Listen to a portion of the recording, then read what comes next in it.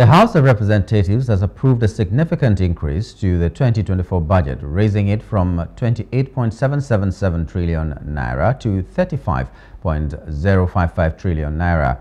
The increment follows the consideration of a report from the House Committee on Appropriation, which addressed President Bola Tinubu's request for a supplementary budget of approximately 6.2 trillion naira.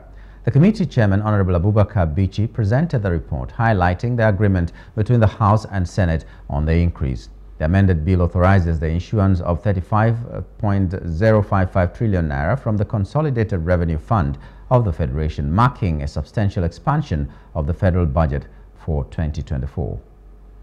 Is consideration of report of the Committee on Appropriation on a bill for an act to amend Appropriation Act 2024 to the issue from the Consolidated Revenue Fund of the Federation the total sum of 35 trillion 55 billion Order, please. 536 million Order.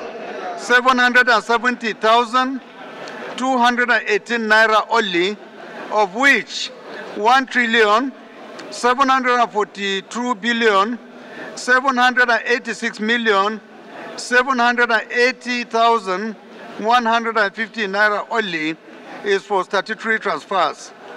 8 trillion 270 billion 960 million 606,831 naira only is for debt service.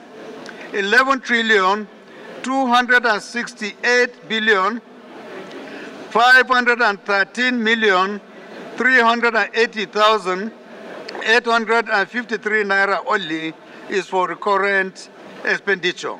Hello, hope you enjoyed the news. Please do subscribe to our YouTube channel and don't forget to hit the notification button so you get notified about fresh news updates.